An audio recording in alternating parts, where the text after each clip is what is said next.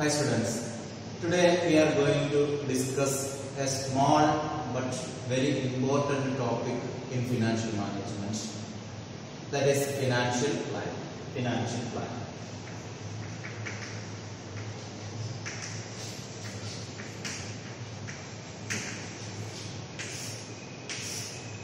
We have studied what is finance. We know that what it is finance. Finance is the provision of money at the time when it is needed. That we know. we know. And uh, planning, we know what it is. Planning is prediction or estimating future course of action. That is planning. Or deciding in advance what is to be done, when it is to be done, how it is to be done, who has to do it, like that. So what it is, what is the combination of finance and planning? That is financial planning. What is the combination? What it says? This is regarding planning of finance. That you may have already understood that. It is planning of finance or planning of finance is called financial planning. We can say that it is the preparation of financial blueprint. It's a preparation of financial blueprint. What is this blueprint? This blueprint is related to how to acquire the finance and how to utilize that. How to acquire the finance and utilize that. That is what blueprint says. That means it's an estimation that which are the different sources of finance from which we can acquire the funds and how to utilize that or which are the sources or which are the ways to utilize the finance. Okay. And that is it ensure that enough funds are available at the right time. That is another important thing. It helps to assess that enough funds, right fund is available at the right time. Whichever required fund, whatever the required money is to be available at the right time. That is what financial planning says. So we can say that it is the preparation of financial blueprint to ensure that enough funds are available at the right time. It's the process of preparing a blueprint to ensure that enough funds are available at the right time. These two things, enough fund and right time, those two things are very very important in financial. From that two points, we can trace out the objectives of financial planning. We have two different objectives. Two objectives are there for financial planning. First one is to ensure the availability of funds whenever required. Ensure the availability of funds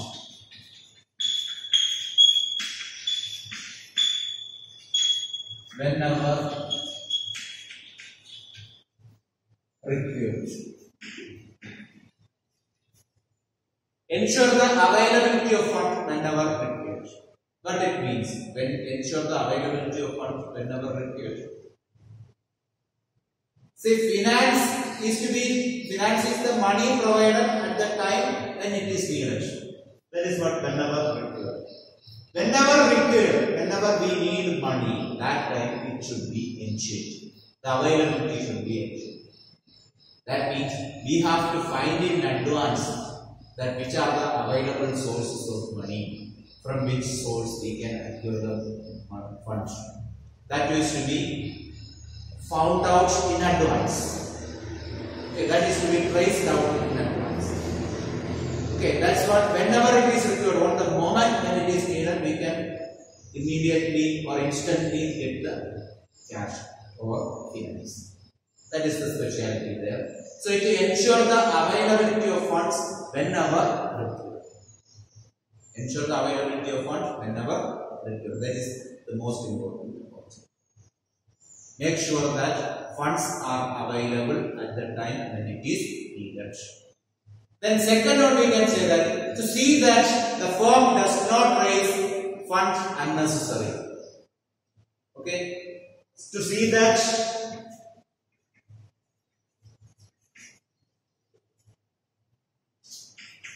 the firm does not raise the resource unnecessary.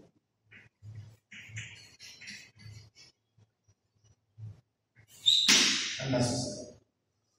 Okay, or we can say that unnecessarily. Say to ensure that the firm does not raise the resource unnecessary. Say to ensure that the firm does not raise the resource because finance is a resource. Money is a source of wealth. Okay. So here we have to raise the money at the time whenever it is needed and that should not be more than what is required. That should not be more than what is required. That is the speciality. So to see that the firm does not raise resource unnecessarily, but is necessary that must that only must be.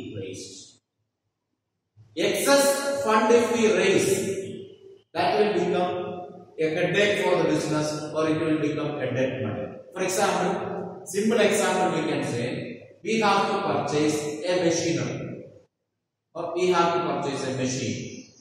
The cost of that machine is 80,000 rupees. The full, the entire cost of that machine comes up to 80,000 rupees. At the same time, we raise finance for 1 lakh rupees. 80,000 only is required and 1 lakh is raised. Actually, how much we had to raise to a maximum? 80,000 only. Maximum 80,000 only should be raised. But here we have raised 20,000 extra. Any problem is there with that? Normally there may not be any problem because 20,000 cash is cash. That can be useful for any other purpose. Isn't it? But the problem here is that 20,000 extra cash is there that we can use for any other purpose. Okay. But for using that to a particular purpose, we have to find out that purpose first. Isn't it? So until we find out that purpose, that money is that money with us. And since we have money with the hand, excess money with the hand, we always, we may, there is chance that it may be spent unnecessarily. Okay, that means it may be spent into a cause or reason which are not necessary for the business. So that chance also is there. Okay, so excess fund it will always be a problem for the business. That fund we have to utilize properly. So we should not go for raising money more than what is required. So that is what these are the two objectives of financial planning. Ensure the availability of fund whenever it is required and to see that the firm does not raise resource unnecessarily. Okay. So these are the two objectives of financial planning. Now we will discuss importance of financial planning. Okay. So objectives of financial planning is clear. Yes. Then let us see what are the importance of financial planning.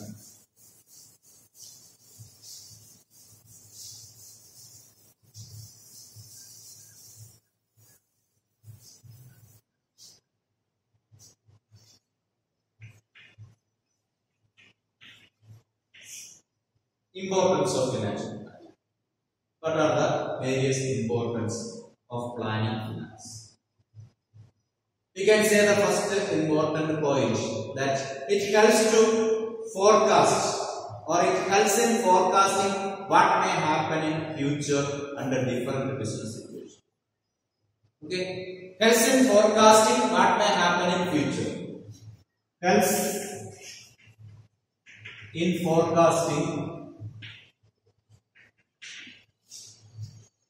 what may happen in future. Financial planning helps in forecasting what may happen in future. Okay, understood? So planning always focus on what is happening in future. So like this, financial planning helps to forecast or helps in forecasting what may happen in future under different business situations. See, we know that business always faces challenges. Always faces challenges. What may anything may happen in future. So in order to adjust that with the challenging situation may happen in future, we have to have proper financial. Okay, in order to uh, see the, in order to meet the changing circumstances, we should available or we should make available the sufficient financial resources. Okay, that is the speciality of financial planning. So financial planning helps in forecasting what may happen in future under different business situations.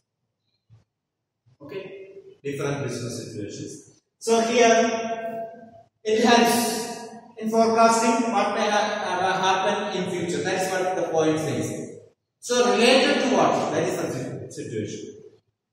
See, in future different things may happen. So what is the involvement of the happenings in finance?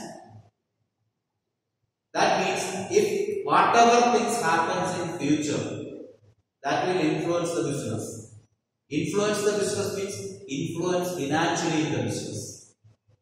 All the things, whatever things are happening in future may influence the business. For example, in future we are forecasting that the demand of the product may decrease.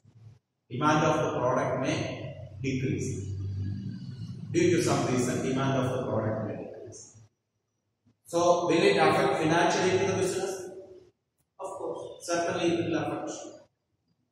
Okay. So, since the demand decreases, the revenue will decrease. Revenue decrease, if the revenue decreases, the available money will decrease. When the available money decreases, uh, we, in order to go for further production, we have to find money from some other sources. Okay, that's what. If we clearly forecast what may happen in future, we can arrange the money in advance. That is what the first importance says. The next says that it helps in avoiding business shocks and surprises.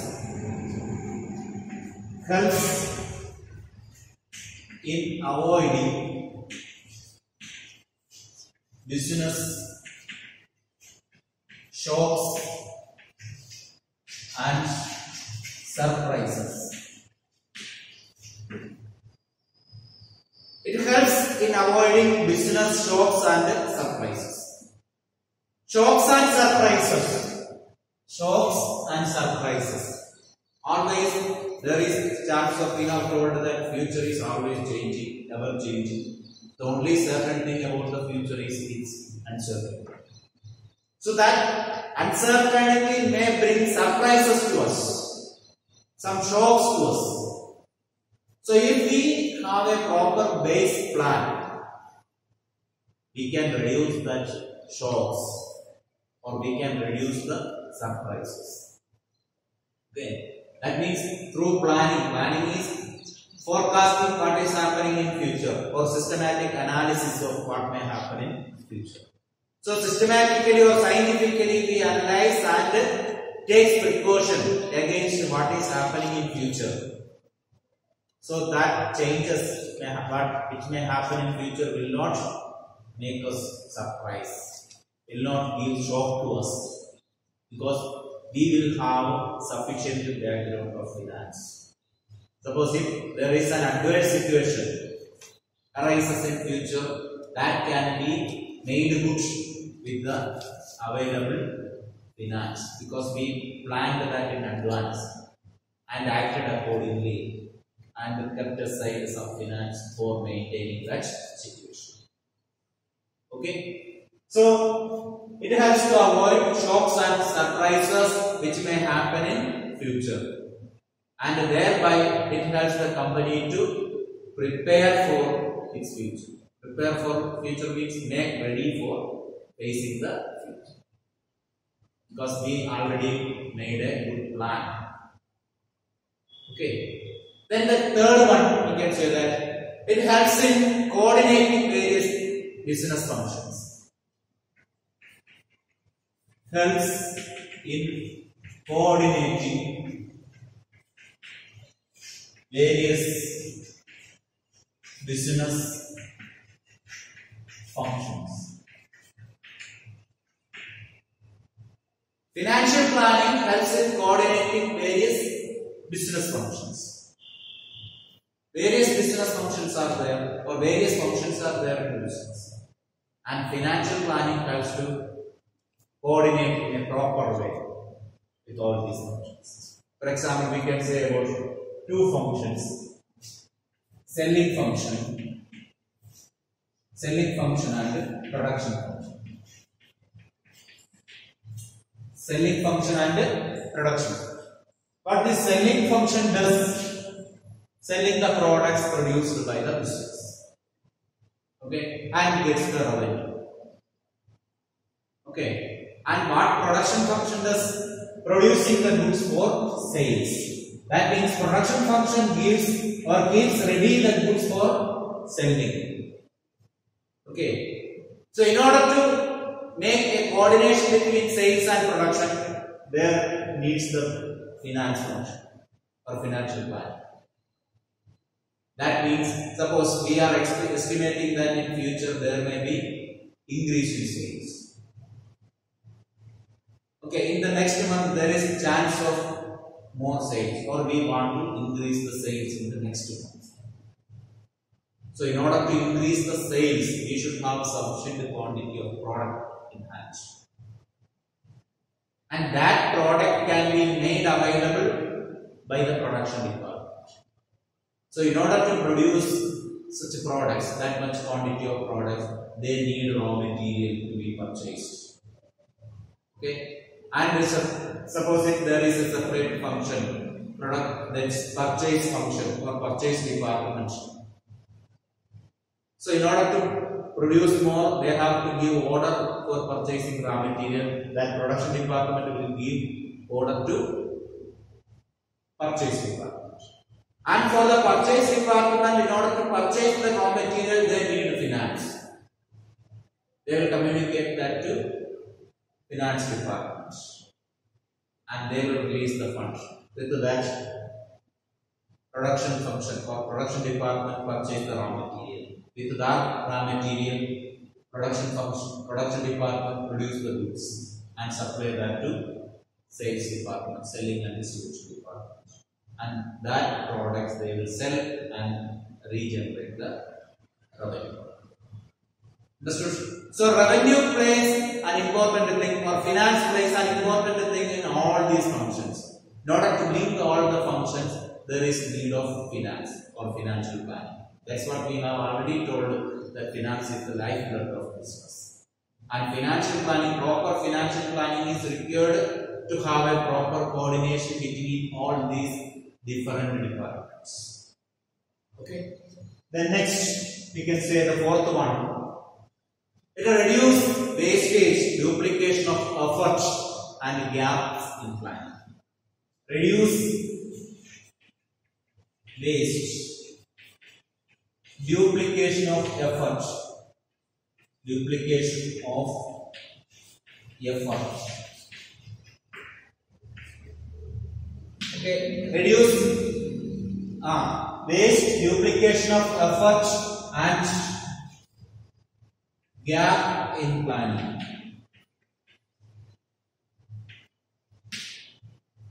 Say, reduce waste, reduce waste, wastage of money. Because we know that planning, finance, or financial planning reduce says that ensure uh, right amount or enough funds, enough funds and not enough and more. Uh, ensure enough funds at the right time. That means wastage of money will not be. What is that much only will be. And duplication of effort will be reduced. Duplication of effort. Okay, so money if supplies in the right time, the work will not be duplicated. The right work will be done in the right time.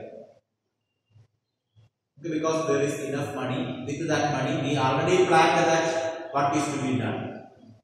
So accordingly, we can follow. And the gap in planning. If there is any problem with the normal plan, an managerial plan, okay, if there is any gap or if there is any problems in acquiring the objective, that problems can be sorted out and solved with the with finance function or financial plan. That means if we provide correct amount of finance when there is problem or when there is any gap. That means sometimes in managerial plan, plan may not work out as we decide because of the problem of finance. Okay, that there the problem of finance can be avoided by giving right amount to uh, that particular situation. That can be done by financial planning. So financial planning helps to avoid the gap in planning. That means if we find if we find any difficulty in completing the plan, managerial plan due to some reasons, due to some monetary reason, there that money can be supplied for that financial planning helps. Okay. Then next we can see the fifth one. Next one. It tries to link the present with the future. Link the present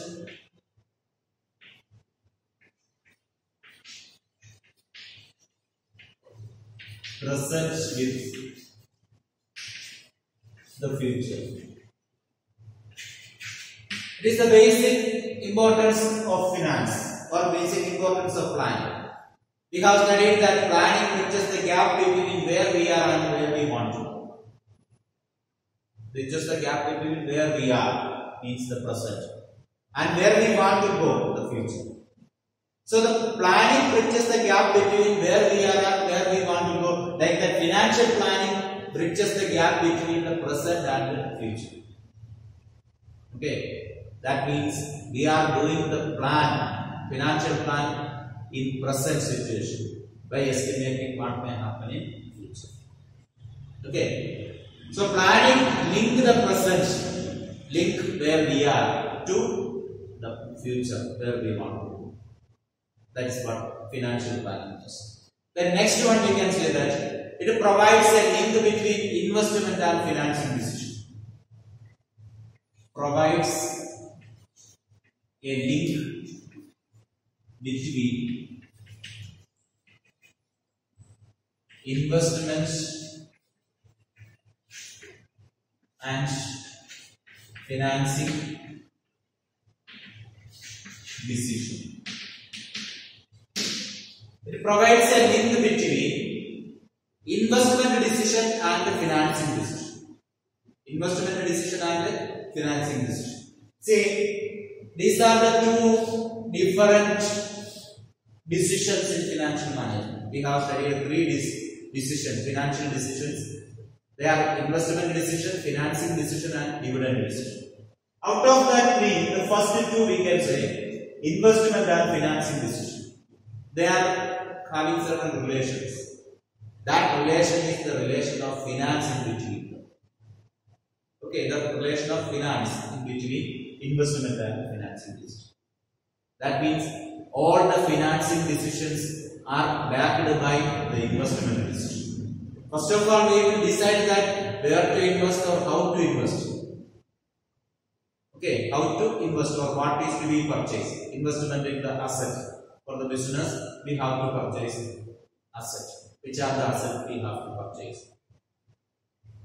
How much money will be invested? How much money we want to invest in that asset? So that is what investment decision. So after deciding how much money is to invest in which asset, so that how much money that we have to generate. That is financing decision. And in order to link this investment and finance decision, there needs financial planning. Proper planning is needed. Okay, how much money is to be generated and from where it is to be generated and what can be the interest rate, all those things comes under financial planning. Because this generated fund is to be given back in future. So their financial planning not only thinks from where it is to be generated and will plan that how it can be repaid in future. That helps. Okay. So this provides financial planning provides a link between investment decision and financing decision. And next we can say that the last one. It makes an evaluation of actual performance easier. Evaluation of the actual performance. Okay, financial planning makes evaluation of actual performance easier. Makes evaluation of actual performance easy. What it means? Financial planning helps to evaluate the performance of the business, the actual performance of the business in a better way. It helps to evaluate the actual because it is spelling out the detailed objectives of various financial segments. Okay, it uh, helps to find out or spelling out the detailed objectives of various business segments. Various business segments are there. For example, we have studied production is a segment, selling is another important. So, what is their objective? Their objective is, for example, selling department, they have to generate money. That is the base, that is a segment for earning revenue. Their aim is to get maximum revenue. Okay? So, financial planning helps to forecast or helps to analyze that whether they are able to achieve their maximum objective or objective in its maximum. And what the production department does, produce the product. And their financial planning or planning of finance focuses on where there is productivity. That means where they are able to produce goods with the minimum cost and maximum benefit or maximum output. If they produce maximum output with the minimum cost, the cost of production will be less and we can say that there is productivity. So in that way, it focuses on analyzing various business segments and that helps to evaluate the business performance. Okay, it helps to evaluate the performance of business in an way. So these are the seven different importance of financial planning. So today we have discussed about the concept of financial planning, objectives of financial planning, and the importance of financial planning. And in the next class, we will discuss about capital structure.